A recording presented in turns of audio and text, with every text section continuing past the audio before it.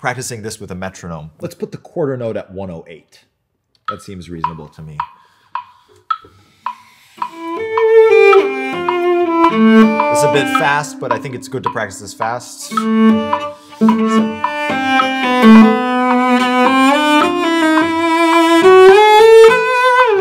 So that okay, that's a very fast tempo, right?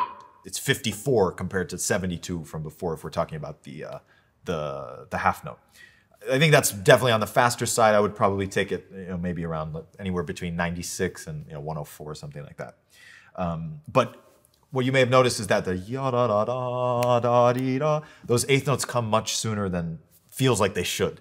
So be aware of that when you're practicing. I would definitely practice this with a metronome because the triplet needs to feel broad and it should have again that sense of chewing gum, space in the time that it takes for it to to play itself out.